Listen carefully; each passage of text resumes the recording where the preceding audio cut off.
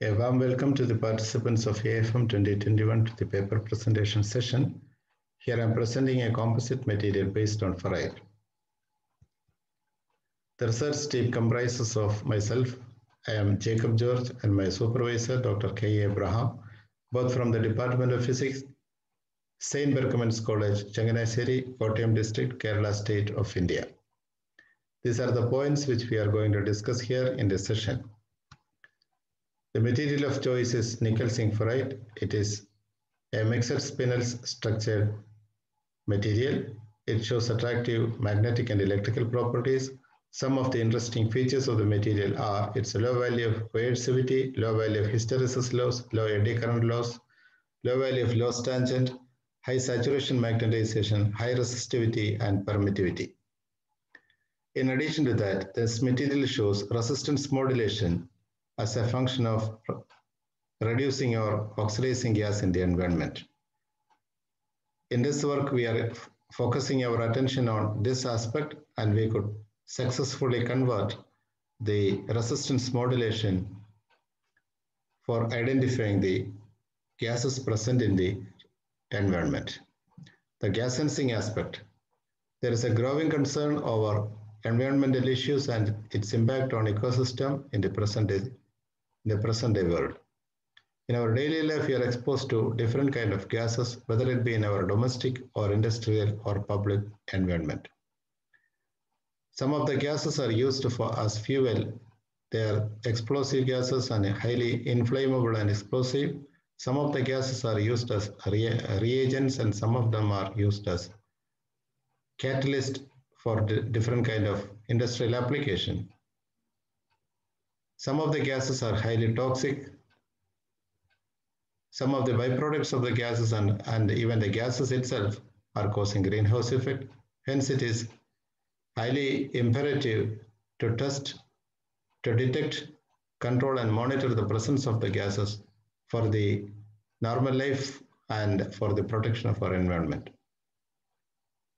Initially, metal oxide based on SnO2, ZnO, TiO2, WO3, etc. have been extensively studied for gas sensing application.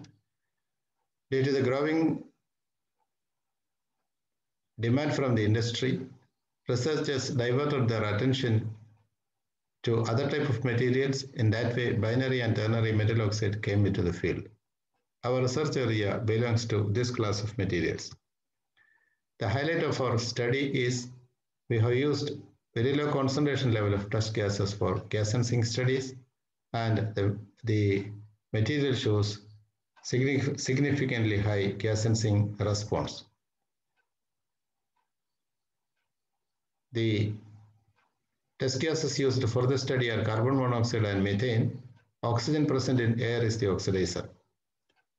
When the material is exposed to the test gases, the resistance decreases to a minimum value and on exposure to the oxidizing gas, the resistance returns to the initial state. The response magnitude is defined as S is equal to R0 minus Rg divided by R0 where R0 and Rg are the resistance in air and test gas.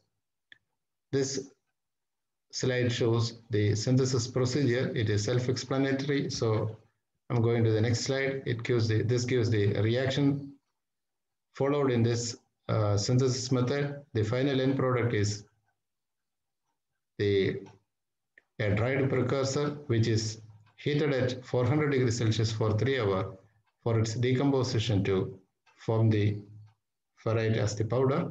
For better crystallinity, this material is sintered at 800 degrees Celsius and allowed to cool to normal temperature.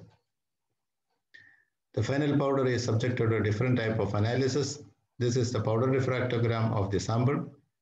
Each peaks are identified using Bragg's plane and it is compared with the standard reference. It is observed that the X-ray diffraction peak of uh, Fe3O4 agrees well with the observed pattern and there is a minor presence of alpha Fe2O3 and NiO in the sample.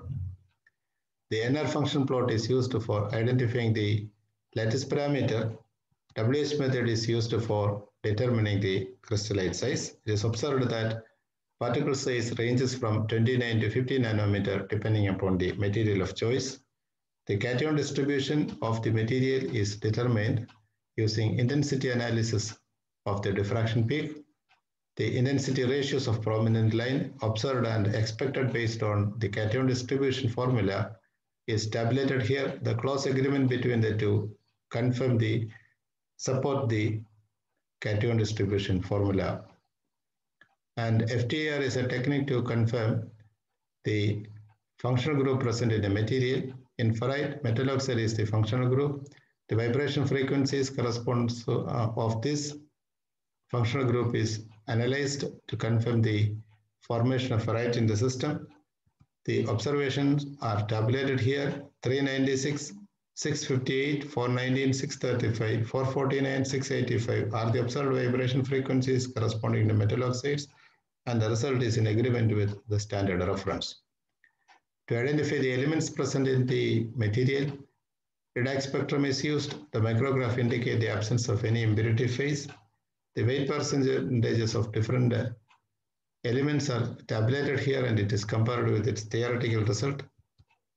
The microstructure and morphology are identified using FSM. The FSM micrograph shows nearly spherical material, material particles. The particle size observed are 45, 94, and 76 nanometer respectively for nickel ferrite, nickel zinc ferrite, and zinc ferrite samples. These values are found to be higher than the crystallite size observed from X-ray diffraction analysis, which indicate the agglomeration tendency of the particle. To confirm this point, TEM micrographs were taken, and TEM micrograph also confirm the agglomeration tendency of the particle. The obtained particle size values are 5884 and 79 nanometer respectively for nickel ferrite, nickel zinc ferrite, and zinc ferrite samples. XPS analysis were carried out to identify the elements, their composition, and oxidation state. The binding energy peak corresponding to carbon is used as the standard reference the other binding energy peaks are the expected elements in the, uh, in the composite. After identifying the binding energy peak, high resolution scan in the selected binding energy ranges are taken and Fe2P is found to show doublet structure. Each component peak of uh, the 2P pattern shows deviation from perfect Gaussian nature, which means more components are present in each peak. They are separated using software technique. These component peaks are identified using colored pattern, colored graph in the following uh, figures. The position of the peak, their peak area and full width at half maximum are tabulated and compared with the standard reference to identify the oxidation state of the cation as Fe3 plus, Fe2 plus, Ni3 plus, Ni2 plus, and Zn2 plus. The oxygen binding energy profile shows deviation from perfect Gaussian nature and it is deconvoluted to obtain the components as 53, 530 and 531.72 respectively electron volt. The lower binding energy P corresponds to lattice oxygen and higher P corresponds to adsorbed oxygen. The peak area of uh, each peaks are, are determined. It, it is observed that adsorbed oxygen peak area is larger than lattice oxygen peak, which indicate that there exist oxygen vacancies in the material. Higher the oxygen deficiency, more will be its electrical conductivity and more will be the probability for gas sensing response of the material. The, observed, uh, the, observed, the result obtained from XPS analysis is tabulated here. And this is the gas sensing setup used for the study. It is normally observed that metal oxide shows significant gas sensing features only when it is kept at high temperature. Here, for this particular experiment, we have chosen 150 to 350 as the operating temperature for gas sensing analysis. Powder material is pelletized the size of the pellet is 13 millimeter diameter and approximately 1 millimeter thickness. It is kept at the operating at the selected operating temperature. Sufficient time is given for stabilizing the resistance. The stable resistance is denoted as R0 in air. Then the test gas is allowed to flow through the system. The flow rate is fixed using mass flow controller. Flow time is fixed as, as 10 minutes. At the end of uh, the flow time, the resistance falls to a minimum value and it is stabilizes there. The value is taken as Rg in air, Rg in test gas. Then the experiment is repeated using airflow is allowed to air is allowed to flow through the system for regaining the resistance back to the initial value. Then the experiment is repeated by changing the flow rate and changing the operating temperature. The summary of the result is tabulated in this histogram and there is the way in which resistance modifies with time and uh, gas concentration is shown in this diagram. This one shows carbon monoxide response. The other one is the methane gas response. The result is summarized here. Response time and recovery time are defined as follows. Response time is the time required to fall the, res the resistance from R0 to 37% of R0. Recovery time is the time required to raise the resistance from Rg to 63% of R0.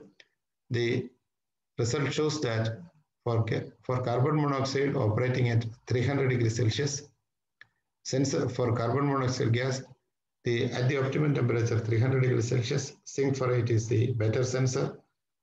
Its response time and recovery time are very short. And uh, for methane gas operating at the sensor operating at 300, 350 degrees Celsius,